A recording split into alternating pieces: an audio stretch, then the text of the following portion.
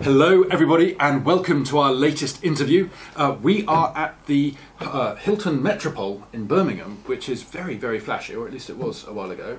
Um, and we've been at the Automechanika show all day long, and we have been joined here by Rocco, who is all the way from America. Whereabouts in America are you from? Long Island, actually. So uh, Smithtown, Long Island, which is New York. New York. There's that little piece that sticks out into the Atlantic Ocean. Ah, yeah, about that? And and the reason why Rocco's here is because you uh, run Gliptone in America, um, and I wanted to talk to you about Gliptone. I'll be happy to do that. Great. Thank so, um, over the years, many people know about Gliptone. Uh, in the UK, it has really been a very much a leather-focused um, sort of product range. Uh, it was run by uh, what's the name of the chap who ran it? He was a Yorkshireman, I believe, back in Yeah, Peter Parkinson. Peter Parkinson, and he he was a leather guru as well. Oh yeah, Peter actually. Peter was a distributor before I purchased Gliptone. So I actually purchased Gliptone at this point about 22 years ago, and and Peter pretty much came along with the deal. Mm. Um, but uh, very impressive, very knowledgeable, expert on leather care. Absolutely. And um, there's a bit of a change here because it turns out Gliptone, I mean, Gliptone started in 1947. I was going to make a joke about did you start it, Yeah. but obviously you've, you've blown that option. Uh. Um, and, uh, but, so it's New York based, uh, been going since 1947, and uh, you actually, your first product was a car wax.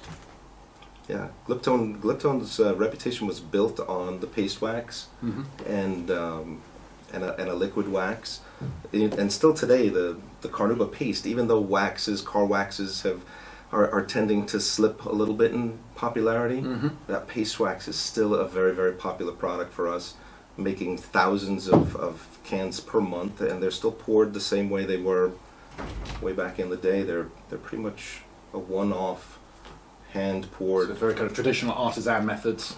Absolutely. And what was really interesting is when you initially grew, um, I mean, not that it was yourself at the time, because obviously you're young spring chicken in, in 1947, um, but it was it was all about organic growth. You, you never advertised. It was a sort of uh, almost esoteric. You know, if you heard about this new car, I'm not going to do a New York accent because it's going to go terribly wrong. But um, it was kind of passed between motorheads, you know, between them, and, and that's how it, it got established. I heard. Oh yeah, it was it was that quiet, um, spoken about product among professionals, hmm and uh, Gliptone was the product to use. In fact, ironically, m- my father had a limousine business, and as a child growing up, that was my job was to clean those cars, and that was the only product that we had in the garage was Was. Gliptone, and that's what had to be used on the limousines to maintain the limousines. So, yeah, it was that uh, that type of prestigious product. So you've had a long relationship with the brand even before you were old enough to buy it. yeah, I guess. who knew? And and what's your background? You obviously, you, I mean, you don't wake up one morning and say, you know what, I'm going to buy myself Gliptone. No, I was I was in the automotive distribution business, automotive car care products. I started out at 19 years old distributing car care products. in 2005. Yeah.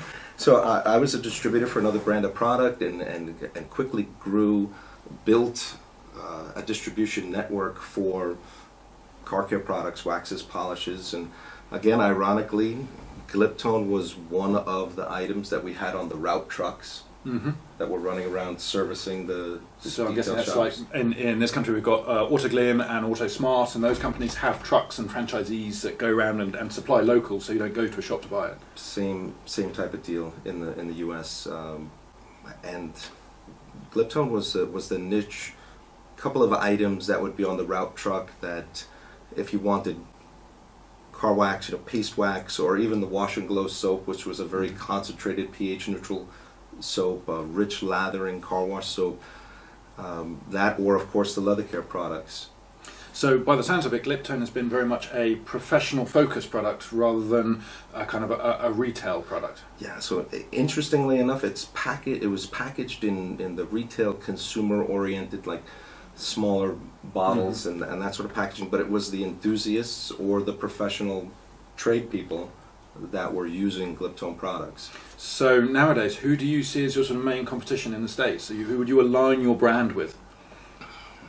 So Gliptone has evolved now where when I purchased Gliptone and we were already, we had already evolved from a, from a distribution company and I had bought out some of my competition. Mhm. Well, one of those competitors was kind of like that, you know, the bathtub blender type of, of, of mixer manufacturing company. Uh, so we had purchased that competitor, and the business evolved, and the manufacturing operation evolved, and we developed several of our own products under the our at the time the company name was Chemco, Mhm. under the Chemco brand name. So that business actually grew so large that when we were trying to look for the perfect building to set up a, a factory, we identified with Gliptone as an opportunity that look this is a factory that's already in place. There's there's a history there, premium quality product heritage and, and manufacturing facility, I guess is key. and a, and a range of products that was a perfect complement to what we were already doing. It was just it was it was perfect, and we just so we purchased Gliptone.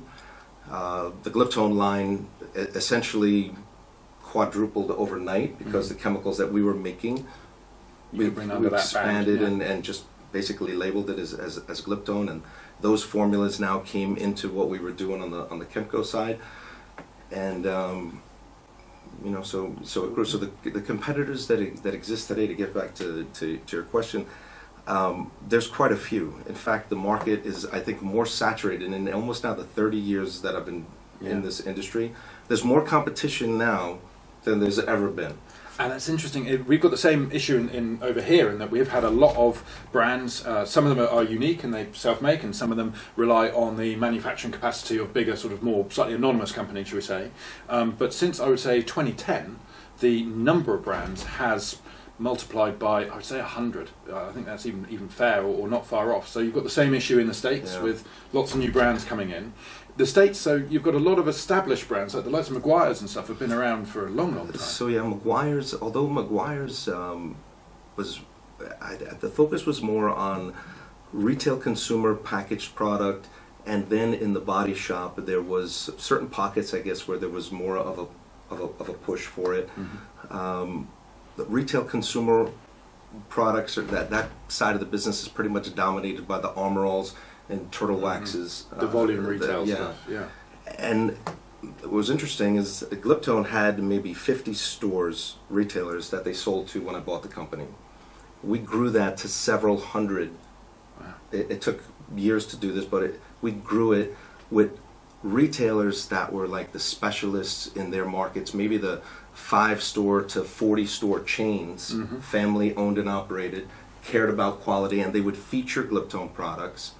But then what would happen is those those large box retailers, the the Advance Auto Parts, uh, AutoZone, and Pep Boys Yeah. and O'Reilly's. Those guys Massive just was yeah. gobbling those guys up, and and as they would gobble them up, they would pretty much planogram for what was selling quickly nationwide. Yeah. The companies that had those big advertising budgets, and because Gliptone really didn't fit into that category, got edged so out. we, we got yeah. edged out, and, and it was one small chain after another, and before you know it, we were right back down to a few dozen stores. Okay. And and what, and that's during your proprietorship. That, that's Yes, how that's- yes, and it was it was discouraging, and and I thought, wow, you know, I think it's time for me to refocus Mhm.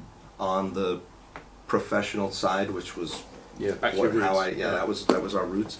That was my roots, and um, it it was it was nice to visit with a detailing professional or a car dealership that would uh, connect you with their reconditioning department, and it was run by somebody who took pride in his work. Yeah. And if he really liked the quality of the product, he was purchasing your product. And he'd be loyal. Yeah.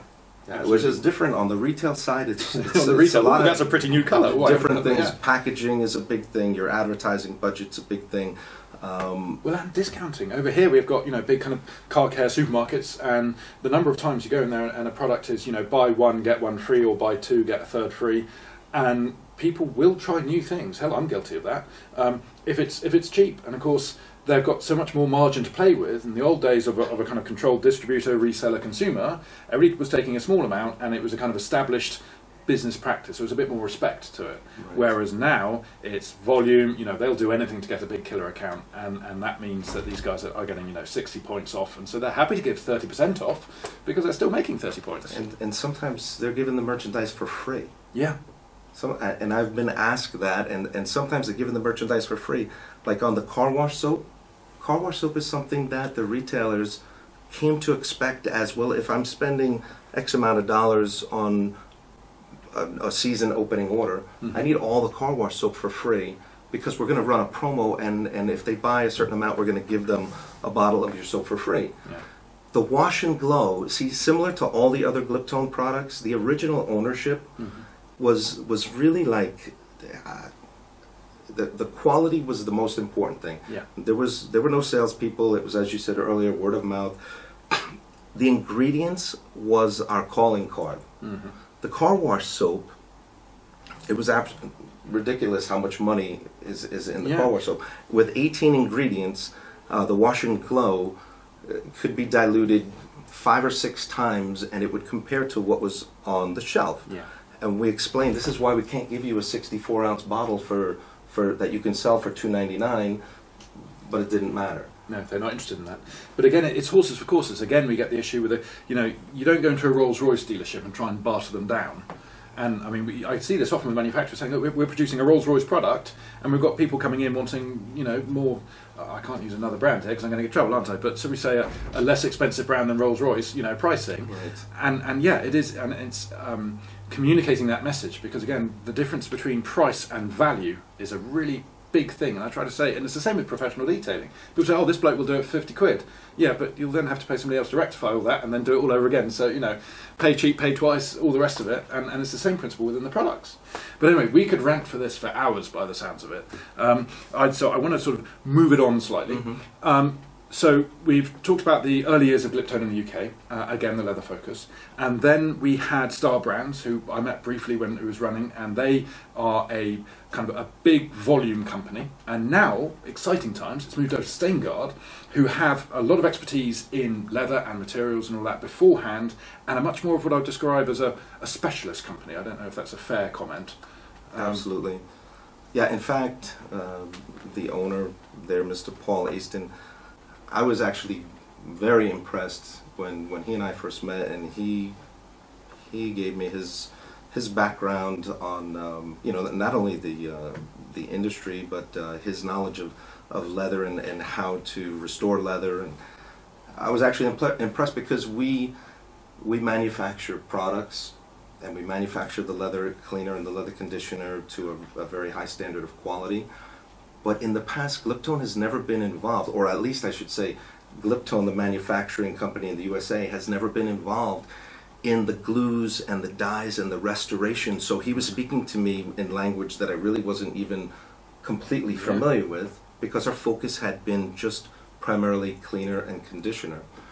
But the encouraging thing for us as a, as a factory is now we had a company that was interested in not just the leather, they recognized the quality and the brand, and they felt, okay, let's take Gliptone and all the people who know Gliptone, who are aware of Gliptone, and e- expand the, the range of products that the mm-hmm. UK market is, is from you know is, is used to, which was obviously music to my ears. Yeah.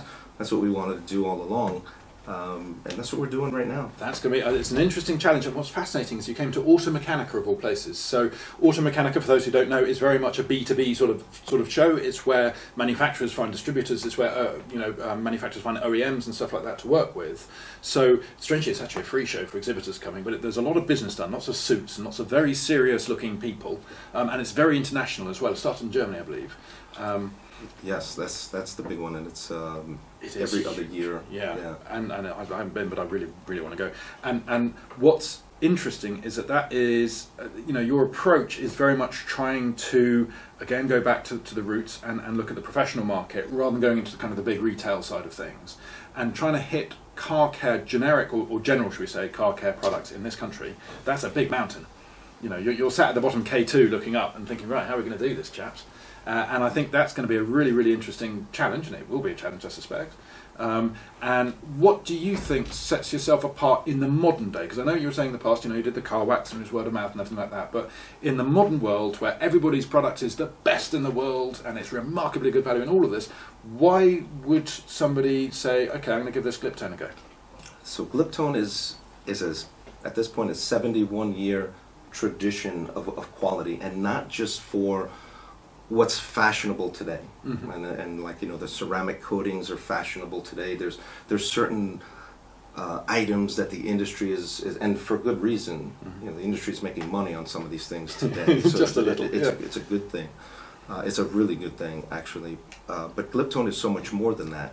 So we have, in my opinion, we're uniquely qualified Mm-hmm. to give these buyers, these prospects that come to a show like like SEMA or Automechanika, an opportunity to connect with a company who can give them everything. Mm-hmm. I mean, when I say everything, we have the consumer packaged, re- the retail Mhm. packaged, consumer-oriented products. We have the professional range, uh, you know, 600 products in, in, in width. We also manufacture a full range of car wash tunnel chemistry. And, and that's an important word, uh, is you manufacture. So these are your products. You won't find a Gliptone product under a different label in a, in a different bottle. Um, which it, and, and in terms of formulation, do you employ your own chemists or do you consult with chemistry chemists? How does that It's, side work? it's actually a little bit of both. Uh, so we do employ our own chemist, but there are times when we need some help in a, in a special niche part of the business, whether it's an abrasive or detergent or or like the ceramic. Uh, like ceramic. I, I, there are very few ceramic companies that produce their own ceramics. Same with compounds; are very complicated. Very few companies, you know, they'll, they'll, they'll kind of assemble it if you like, but the, the raw ingredients come in pre-made because they have to because of the process. Uh, well, yes and, and, and no. In, in many cases, they do.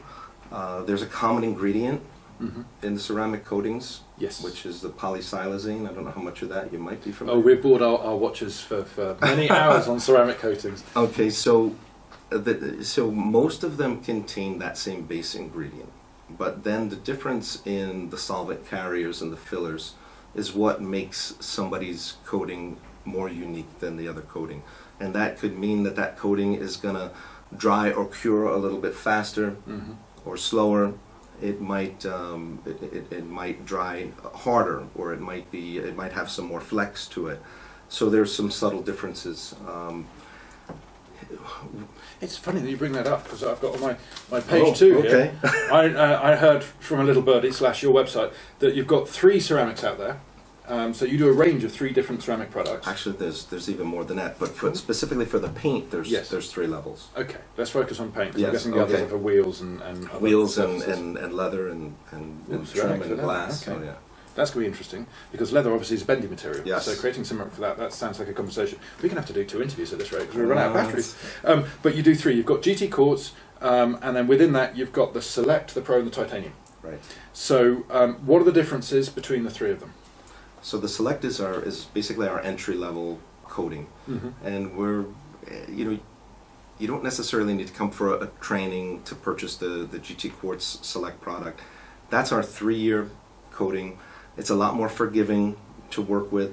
Um, the flash time is um, again more more forgiving. So for the the detail shop who's just getting involved in ceramic coatings, uh, that's a good product to get a feel for how long you should leave the product on before you work towards leveling leveling off the coating. It's not going to cure too fast on you and become streaky or difficult to remove. But you're still pitching it towards the professional. It's not for Oh yeah, somebody at home. oh yeah, yeah. We don't sell it to a consumer. None of those products you mentioned are sold to a retail consumer. Well, that's I think very responsible because again, there's Oh, yeah. uh, you know uh, the idea of, of some ceramics going out to to just end users. I mean, we- we're just from the trade association point of view. There are quite a few who've applied it. You know, owners of cars who have applied themselves, and then it's gone a little bit wrong. Oh, and yeah. it's terribly expensive repairing that stuff. Yeah, no, it's um, no. This is something that you know. See, we've been in this business for a long time, Yeah. so we've made friends. We're selling second generation detailers. I, we have customers who I have trained and, and supplied their, their dad, Mhm. and now the son is involved in detailing, and, and they're coming through our training programs, and so we have a lot of respect for the detailing industry. It's a lot of that in a sense. It's intri- intriguing that because over here, I think um, it's a younger industry in many respects, and I'm not aware. I think with body shops, you quite often get that pass from father to son and all the rest of it, or, or from mother to daughter, but to son. And um, the uh, in detailing, you see less of that. You see quite a few detailers trying to get their kids involved in it because it's what daddy does or what mummy does. But um, in America, is that a big thing where, where if you've got a detail shop, it's uh, you know you hand that down to your son, who hands it down to their son, and then you know You, you know, sometimes yes, not not as much, but so what's happening that's different today, and as I'm sure you're aware with the, with these coatings, not just to select the professional and, and our top of the line, which is the titanium, the shops are making money at every level. So it's the type of trade now that you certainly don't mind encouraging your son or, Yeah. or daughter to get involved because there's an opportunity for them to make money. They do the job right, and it's a craft that's now being respected and compensated Mm. at a level that didn't exist before. Kind of jealous, you know, because over here we're, we're behind you in that respect. Because here there is respect for those who know obviously what detailing is, and there's a lot of respect for the artisan, the craftsman side, the skill, and it's kind of art and science. But in terms of the wider population, even among the wider population of car enthusiasts, the, you know, people do still say, well, you're basically a car washer, ain't you? And you know, you sit there and you think, well, no, actually, we're not. But you know, I, I, I- I don't have time to explain it to you, or something like that. Um, and so the plan that we have for, for marketing with, with in cooperation with Staingard and these coatings from the entry level, professional, and, and the titanium level is to certify the shops, provide the training that they need to make sure that they're doing the job properly. yeah. I mean, we've created a, a 28 page training manual, and it's a two to three day training class to certify the technician. And how much focus? Because again, we, the training courses and accreditation is it's a hot topic, should we say? Because there are some companies where you get certified just by buying the product, mm. and there are other ones where they'll train you on their particular product, so the application of that, but they won't train you on the machine polishing and correction work required prior to do it. So your training accreditation, do you cover the full preparation of a vehicle prior to the application? Yes, it's it's a it's the full process from washing and decontamination to paint correction to prepping for the for the coating to be applied, applying the coating, and in, a, in the more advanced classes using an HVLP gun to spray the coatings Oh wow! for rims and, and, and uh, that that sort of and just final detail work and out the door. So we cover we cover it all. Um, when when they're finished with the class, and we don't take somebody who's just like a restaurateur, for example, and they decided to make a career change and become a detailer. We're looking for people. That's why we we have a map in the booth, Mhm. and it's got stars where we already have accredited. Mhm. You Are, know, are you giving exclusive centers. territories away Yes. to people? Yeah. Yeah, so if, if somebody starts to tell us their story and they say, hey, look, and they show pictures, uh, these are the cars, Just take, evidence, take yeah. a look at my shop, this is, and, and it's really clean looking, and they, it looks like they do good work and they take pride in their work, we tell them, you know what? Somebody should be respecting what you've been doing all along. Well, we are uniquely qualified to make you a star. Yeah. And we want to literally make you a star on our map Yeah. and with the amount of effort and, and, and investment that we want to make into the social media marketing side of things and the, the Gliptone GT Quartz ceramic coating program, we're looking to generate qualified leads. When I say qualified leads, the consumers that have already now been educated Because they've received emails from us and, and they're on like basically a drip campaign that explains the whole process. And once this algorithm that, that has been created for us has determined that this consumer is actually Ready truly jump, interested yeah. in risk, It's hot, as we used to call it in sales days. Then- hot to trot we're giving that lead at no charge to the to, to the, the, to the nearest to the nearest to the nearest shop. So now he doesn't have to spend his time to explain that he's not that wash bucket guy Yeah. that's going to be able to do their car for one hundred dollars. He's that three wash bucket guy who's going to take a thousand dollars, but he's going to do a different job. They understand. They they know the consumers are starting to become a little more educated about it, and they're willing to pay the money. And we're making sure that if you're affiliated with us, those shops are trained properly, and they're going to make money. Their success is going to be our success. So, mm. for sure, we want to make sure that they're successful. Well, that's it's good to hear that. And as I say, there are lots of companies out there, ceramic companies, who are approving, and there are lots of different standards. And you know, it's it's a bit of a lion's den out there, particularly on social media. But by the sounds of what you said so far, that sounds like a very promising sort of foundation. And what I like is it's a kind of your drip feed side. It sounds like you're kind of bringing a little bit of uh, American marketing zest into you know quite a traditional sort of UK. You know, hapdash, should we say, approach. So it's, it's good to see that, and that'd be interesting to look through. Um, one couple other little things I want to pick up because, uh, as I say, we, we had a look through and, and, and did some digging, and there are some fascinating things that you do over in the states, which we don't do here, which I think would be really cool. So, for example, you've got Carfax. So in the States, it's like HPI over here. It has a record of a vehicle. So if you buy a nicked car, and I've done that before by mistake, I didn't nick it. I bought it off the person who nicked it. It was really cheap, and um, the I gave it back. Don't worry. Um, but the um, point being is that you've got the record of the car. Whereas if if a detail has applied your products they can actually update the Carfax relevant to the vehicle to say that this car has had this ceramic coating applied and it's had this maintenance routine, which is amazing because then you could be a, a, a fifth owner 20 years later and you know that this has had a ceramic coating when, when it was new, and that is is very cool, frankly. Um, yeah, it brings it, it, brings value to the program. It brings value to the shop who's doing the application. Mm-hmm. That car's history if, if you were going to purchase that car tomorrow and decided to pull up the VIN number and look for accident history and repair work history, it's going to show that this shop installed the Gliptone GT Quartz Professional on, on that date, and it's um, a seven-year program that was that was uh, the application. Mm-hmm. And, and they see the date and they see that there's there's still something there, there's some value there, and Carfax has recognized that, and, and we're pretty excited about that. Is that exclusive to you, or do, or do other car care brands in, in America there's, use that? Uh, to our knowledge, there's pro- I think there's one or two okay. others. So, uh, but we're one of a, a, very small group, so we're happy about that. Another interesting thing is a lot of these ceramic companies they offer guarantees of some description. Now, some of them are, are, kind of slightly full of holes. It's like it'll last a lifetime as long as the lifetime is 28 days and only when the wind is blowing to the west. Um, but other ones are quite straightforward, and you read them and you think, crikey. And, and ultimately, what they say is, well, it's worth giving the guarantee because we'll get only a small percentage of people using it, and it'd be cheaper for us to just reapply it to those cars that have failed or, or they think they've failed. Um, your guarantee, though, is interesting in that it qualifies based on the age of the car. So if you've got a brand new car and you apply product X to it, should we say GT Quartz Titanium, why not? Um, which I'm guessing got TiO2 in it. Uh, yes. Yeah. And, um, so, and um, the, the, the warranty is different as if uh, compared to if the car was 10 years old and then there's policy. How does that really work? Because theoretically, the car could have been resprayed, or if a car's perfectly prepared and machined, then surely it's going to be in a better state than a car that comes from a factory, which isn't always perfect, and the prep isn't done as well. Yeah, it's a concern. It's, it's certainly a concern that the later model cars that qualify for the warranty that could have been damaged and repaired, not quite at the level of mm quality and professionalism. So that's where our danger zone may exist if, if there is one.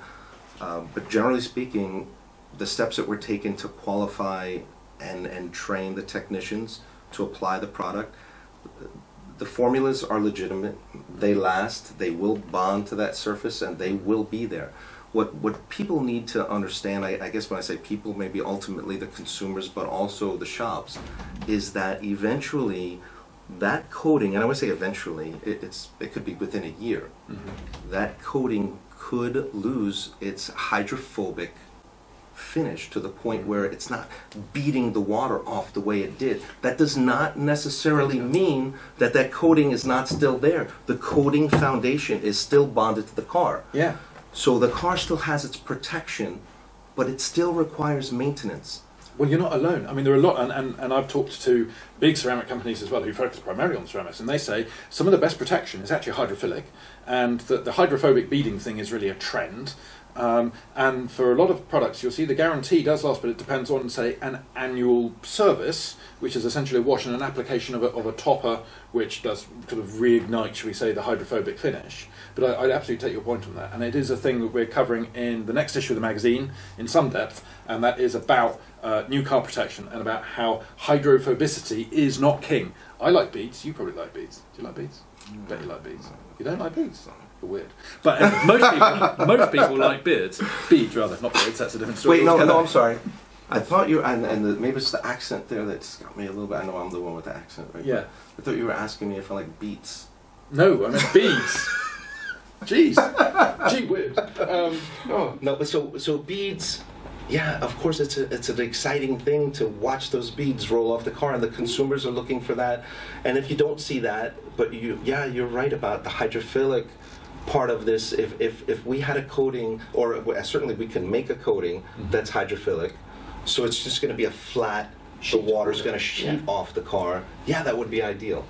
but the consumers won't be able to appreciate and recognize that you still have protection. Exactly. So that's the reason we can't do that. And the thing with beads, what happens is the rain falls, and if you look at all the other cars, they, they sheet over, and then you've got your nice beady one, but then the water evaporates, and the little speck of dust that makes each drop of rain sits there, and it looks like you've been driving through the Sahara. So it can be slightly counter counterproductive in that respect. Well, the, but- the beading, uh, the, what could be said about the beading is the self-cleaning effect. it's what I use when the police stop me for speeding.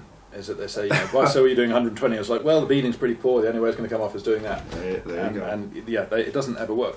Apparently, something about primary school being a 20 zone. Um, but anyway, um, so we've covered that bit, and I think that's interesting. You also do products for aviation and marine, which is, I guess, not a surprise because when you're developing your own products, it's quite easy to change and alter things slightly. Now, some people just put automotive ones into a aviation bottle and quadruple the price because obviously. right. Um, do you, are your formulations for, for boats and aeroplanes significantly different, or entirely the same, or uh, I don't know. There, I would, I would say, depending on the product, um, moderate to significant differences, and most of those differences are in readily biodegradable formulas. mhm. because in most cases the marine products are being used in the water. So if there's discharge, hope we, we yeah. cannot have that discharge affect the marine life. So the Yes. soaps and multi-purpose cleaners are readily biodegradable, and the sealants, even the um, the rubber treatment. Uh, we have something called Weather Shield and Molding Magic on the marine side that have amino functional like functionality built into the the, the base of, of that of those formulas, so they'll cure to the surface. so it's not just greasy silicon they'll go into into exactly and right. A the heavy rain Yeah. is not going to wash them off the side of, of the boat. Yeah. Okay, they'll just be beading. They're they're more UV resistant, so that's what you get out of the marine RV side of the. Um, how are you finding if I say the, the letter CLP to you and regulations? Because obviously in America you've got different policies um, and they seem to sort of mm, change with the wind sometimes. Whereas over here, um, as of uh, quite a long time ago now, we've had our new regulations which you need new logos, it needs to be EU friendly, it needs to uh, have the correct sort of warnings on and, and explain to children that no, they shouldn't drink this and explain to adults that no, you shouldn't put it in your eye and if you do, A, you're a fool and B, go to hospital. Um, how have you done with all the labelling from the US over to the UK, and also you can't use words like trunk and stuff like that because otherwise, you know, it, it's, it's wrong. Um, how, how have you managed to, to do that side of things? So, so it's been challenging and it's been very expensive, Yes, um, but we do take safety seriously, and dead customers can't pay their bills. Well, yeah, and uh, you know, yeah, certainly we, we, we don't want um, anybody getting hurt from using a Gliptone product. So where the disclosures need to be made, we want to be able to make those products, uh, uh, make those disclosures so the products are safe and the users understand what they're what they're working with. Uh, at the same time, obviously, we're concerned about disclosing the entire formula to the to the tune of exactly what the percentages are of those of those formulas for proprietary reasons. So you, it's it's this It's balance. balance. Yeah, in the MS, M- what we're talking about here is MDS sheets or MSDS sheets rather, uh, material safety data sheets. And in there, if you've got a, a particular chemical, you have a CAS number, and then you have to put normally within a range what sort of ratio you've got. So, um, and that uh, for dangerous products as well as for non-dangerous products. But within there, you have to put all the active ingredients. And I agree that that can potentially give away, which is why a lot of products say it has this super dangerous radiation biological product, anywhere between 0.1% and 100%. And that way they kind of escape things, but it's not very useful if, if somebody's shoved it in their face and you've got to go to the doctor and the doctor's looking at you. Yeah, thinking, you yeah. know, There, no, there, there, there is a limit to what that range could, Yeah. could be. Um, and so several years back, we went through a, a change, uh, this evolution that was, um, they're no longer called the MSDS sheets, now they're. SDS sheets. SDS, there we so go. safety yeah. data sheets, and it's GHS SDS, so global harmonization. That was really interesting. So it was global Was it harmonization really?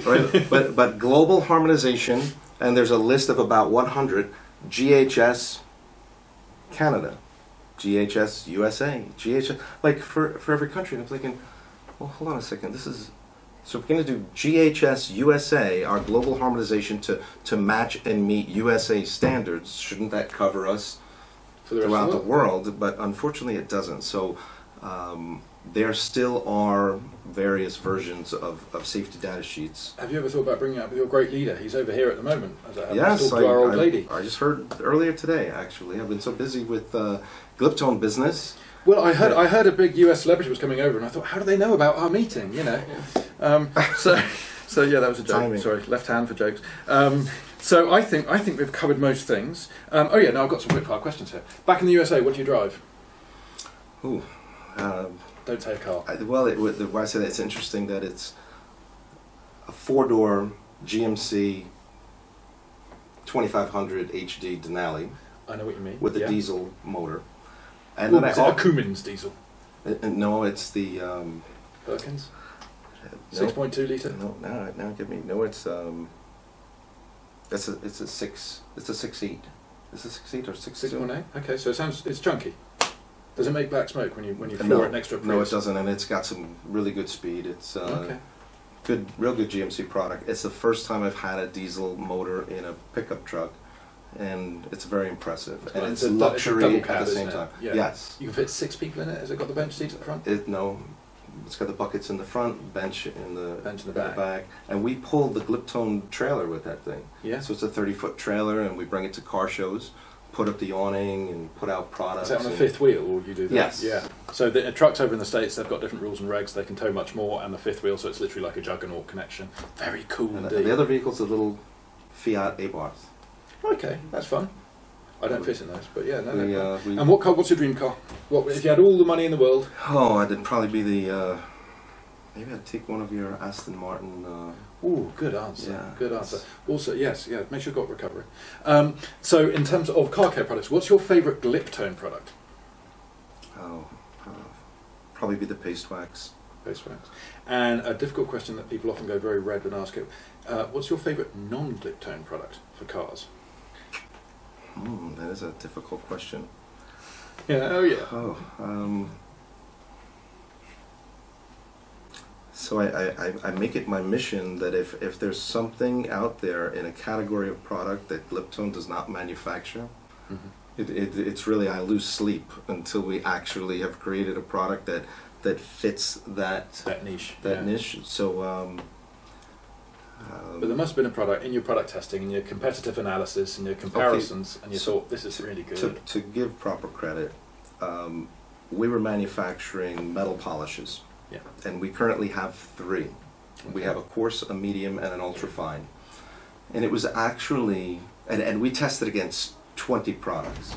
And some of the fastest, biggest sellers on the market, Oh, very good. no, they, they, they got like blown out of the testing Have you? You've obviously immediately. You've read issue eight of the Pro Detailer magazine, where we also tested a, a number of metal polishes and, and found quite similar results. And the, the ones that we'd never heard of were actually the best out there. Is that- Yeah. I- We didn't try the Gliptone ones, obviously, unfortunately. But uh, Well, there was a there was a product there that it gave us a run for our money, which was actually I don't know if it's a German or a UK product, the Autosol brand. Autosol, yeah. You see, over here, Autosol has been around for ages. If you ask anyone in the in the car trade or detailing or anything like that, a metal polish, the first one they think of, um, certainly the older generation, would be Autosol. Well, that was the brand that kept us in testing for 18 months. To be fair, Bastards. Absolute bastards. But I suppose, as a consequence, as a consequence, now you've got a yes, product. as we're very proud of what Yeah. we've created, and we can uh, uh, confidently say that we have a product that competes nearly as good as that. Autosol. Yeah. yeah. Well, it's, it's better now. no, it's better. It, it was it was a tough one, but so that was a good one. No, no, I like that, and it's good to have that, that kind of story behind it, really. Um, and so I think we have come to the end of everything. I still want to know who you would most compare yourself to in the states, in terms so that people who don't know Gliptone, uh, apart from out of the leather side, Mm-hmm. if you would say name a brand that we get over here that is kind of at a comparable level. So, for example, at the very top you've got the likes of uh, Zymol and Swissvax and the very expensive exclusive brands, and at the bottom, as you say, you've got the the cheaper brands. Um, where would you pitch yourself? I mean, obviously, your professional focus. Yeah, so we, we, we view ourselves as a micro brewery of, Okay, of, yeah. of waxes and polishes. Um, So our, our, our products are manufactured in a 20,000 square foot building where there's other manufacturers that are considerably larger Mm. than, than Gliptone, but we pride ourselves on the, on the quality. Um, So the early the, the stories. niche, I guess, or the niche. Well, yeah, t- and so I was. I've been in this a long time. So the the early stories of, of the Meguiar startup and, Yeah. and the family's heritage and, and their you know passion for you for can identify quality. with that. there's a- Yeah, T- today it's it's difficult because there's so many marketing companies Yes. that are promoting themselves as the Manufacturers. the manufacturers, and it's it's very different than than what we do. So it's um, they may be uh, we, we may have a lot of respect for those companies for the efforts that they that they Mm. put into promoting the you know their products. Uh, but it wouldn't necessarily be at the same level of um, Yeah. commitment to the manufacturing process. I would say. No, I understand. I understand. That's annoying. And the prob- testing they probably make more money as a consequence, but in a way, Uh, I yeah, I mean, I'm sure they, yeah, Yeah. they. Exactly. Well, Rocco, moving in that direction as, as fast as we can, though, uh, growth-wise, uh, not not without sacrificing the quality. Well, we'll get, I'm sure you'll get that Aston Martin at some point soon. It'd be good. Anyway, Rocco, it's been a pleasure. It's been really Thank fun talking to Rocco, and, and Thank you. uh, you know what a character, guys. And and uh, I think you know just for that, really check out the Gliptone range. It's going to be all available. A lot of it is already on the UK site, uh, which we'll put links to and everything in the bottom of the description. Um, and give it a go. You know, the leather stuff is proven. Um, we've done leather. We've done tests with the leather stuff. We've done all sorts of things in the past, and I'm really interested to start trying some of your wider range on the cars. Um, certainly, the ceramic coatings are definitely of interest, and I really like how you're going about with the accreditation of that. Um, it's it's a very difficult line to, to kind of balance along, and uh, many have tried and failed. And uh, I think you've very much got a kind of a good, strong foundation of what you're saying. Um, putting it in the right direction, focusing on skills and getting the best of the best to do things because that's the best way of doing things, really. Um, and yeah, I'm looking forward to the, the new product coming out, and we will be writing a lot in the latest issue of the magazine, issue nine, which will be coming out on the 21st of July, uh, which probably isn't that far away by the time that this video comes out. Um, and so have a read and see what you think. And it's available from www.pro-detailer.com. Uh, and as I say, we'll put links uh, for all the Gliptone products below. Anyway, thank you very much for watching.